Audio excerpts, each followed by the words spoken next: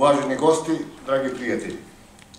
Pripremali mi je izveta čast i zadovoljstvo da vas u godini jubileja 100 godine futbala u Pirotu pozdravim ime Futbolskog saveza Pirotskog okruga i u svoje ime. Priča o pirotskom futbolu počela daleke 1919. godine kada je odigrana prva utakmica u dvorištu u Pirotskoj gimnaziji. Od tada do danas futbol je delio sudbinu grada Pirota. Futbol na području Pirota doživljava ekspanziju posle drugog svetskog rata, posebno 50. godina prošlog veka, kada dolazi do formiranja velikog broja futbolskih klubova.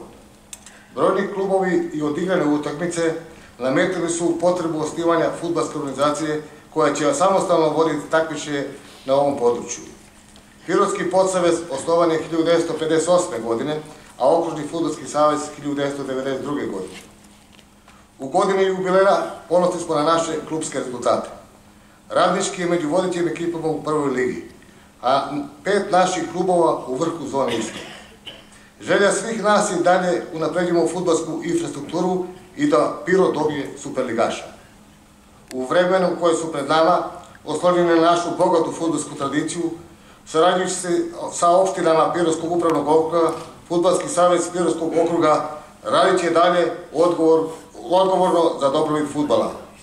А у Пироту ќе се и даде играти фудбал. Хвала вам.